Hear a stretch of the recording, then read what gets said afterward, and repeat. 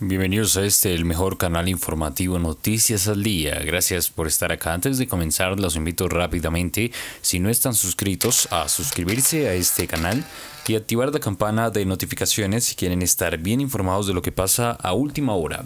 El régimen de Maduro restringirá el paso de migrantes por la frontera con Colombia. El tránsito solo se podrá realizar tres días por semana. En el puente Simón Bolívar, los grupos no podrán superar las 300 personas. La medida busca una reducción cercana al 80% de los venezolanos que intentan retornar al país.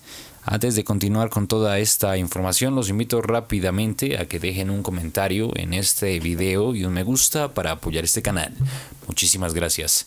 Venezuela reducirá a partir del lunes el flujo de migrantes autorizados a retornar a ese país a través de un importante paso fronterizo con Colombia informó en la noche de sábado la autoridad migratoria colombiana.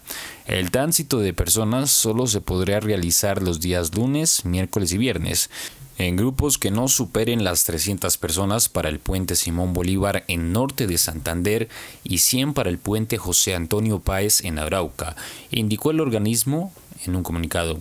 En el caso de La Guajira, aún sigue sin que se logre establecer un corredor humanitario formal, lo que hace que el paso de personas sea esporádico, según el boletín.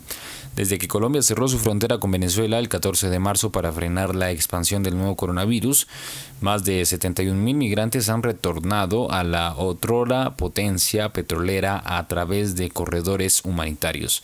El regreso, impulsado por la pandemia, hizo que por primera vez en cinco años cayera el número de venezolanos en el país a poco más de 1,8 millones, según Migración Colombia.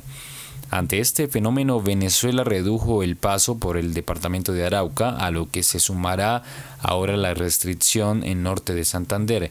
La medida implicará una reducción cercana al 80% en el retorno de ciudadanos venezolanos a su país, de acuerdo con el boletín. Debido a las restricciones migratorias, miles de venezolanos han quedado varados en Colombia, a la espera de autorizaciones para transitar hasta la frontera o cruzar por uno de los corredores humanitarios. Sin relación diplomática desde 2019, Colombia y Venezuela comparten una porosa frontera de 2.200 kilómetros y coordinan la atención en salud de migrantes a través de la Organización Panamericana de la Salud. Además de siete pasos fronterizos formales, existen numerosas trochas ilegales que conectan a los dos países. Colombia secunda a Estados Unidos la campaña diplomática para sacar a Maduro del poder, alegando que es un dictador que se hizo a un nuevo mandato de forma fraudulenta. Ambos países, junto a otros 50, reconocen a Juan Guaidó como el presidente de Venezuela. Colombia registra más de 1.200 decesos por coronavirus y Venezuela apenas una veintena, pero el balance es cuestionado por expertos y ONG en un país como un sistema de salud colapsado.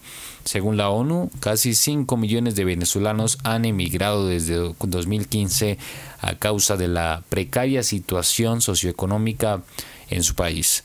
¿Qué opinan ustedes de toda esta información, de esta noticia? Ya mismo los leo en la parte de los comentarios. Recuerden dejar un like también muy importante. Muchísimas gracias a través de redes sociales. Compartir este video a través de WhatsApp, de Facebook. Es importante que esta información la sepa el mundo. Gracias por estar acá. Esto es Noticias al Día.